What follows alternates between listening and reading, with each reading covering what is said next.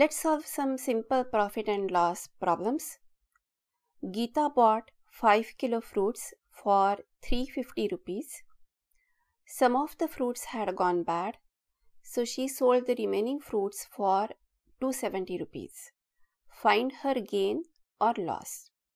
What does gain mean? Gain means the same thing as profit. So here Geeta bought it for 350 rupees when you buy it for something it is the cost price. So cp equals 350 and she sold it for 270 rupees. That means is the selling price. Sp equals 270 now you can see that sp is smaller than cp that means she sold it for less money than she bought it for. So this is definitely a loss and loss equals Cp minus Sp. You don't really have to remember what minus what. You just always subtract the smaller number from the bigger number. And because you know that the selling price is smaller, you know it's loss. So therefore 350 minus 270, the subtraction equals 80. You can do mental math here. 270 plus 100 is 370 and this is 350 so 20 less that's why 100 minus 20 equals 80 so this is 80 therefore Geeta incurred 80 rupees of loss. Here is the next problem. A farmer bought a goat for 6700 rupees. He spent 680 rupees on looking after it. He then sold it for 8500 rupees did he make a profit or loss and how much? In this example, if you see the cost price is really not just one number.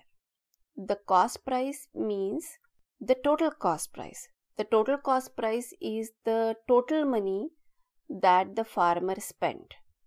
So farmer here spent two types of money. The first is to buy the goat and the second amount is to take care of it, to look after it. That means the total cost price CP equals price at which the goat was bought plus cost to look after.